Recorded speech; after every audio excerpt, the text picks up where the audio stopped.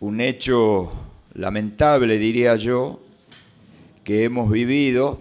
Hemos tenido la posibilidad de encontrar mercaderías en un domicilio particular. Esa mercadería pertenecía al Ministerio de Desarrollo Social de la provincia, no de la nación como algunos medios malintencionadamente, no digo medios tucumanos, digo medios nacionales, lo decían. Nada tiene que ver el, eh, el Ministerio a nivel nacional. Le hemos dado instrucción a la fiscal de Estado que la provincia también en la mañana de hoy se presente como querellante en la causa. Y la decisión que tiene la provincia sobre este caso es que se vaya a fondo. Estas cosas también nos tienen que servir como experiencia para mejorar algunos sistemas que tengan que ver no solo de distribución,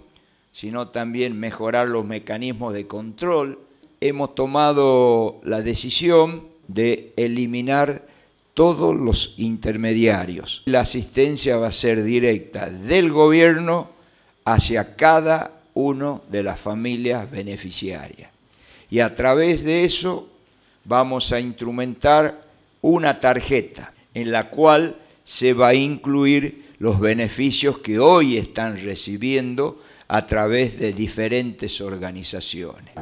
Muchos eh, personas, sobre todo con cargos institucionales, que han pedido la renuncia del ministro Mazo, sobre todo legisladores, quiero decirle que quien tiene la facultad exclusiva de designar y remover ministro es el gobernador de la provincia. Y el gobernador de la provincia no tiene ninguna decisión, no solo de no remover a ningún ministro, sino también de ratificarlo al ministro de Desarrollo Social, Federico Mazo. Así que yo le pediría a los legisladores que se dediquen a legislar. Quien tiene facultad exclusiva es el gobernador de la provincia.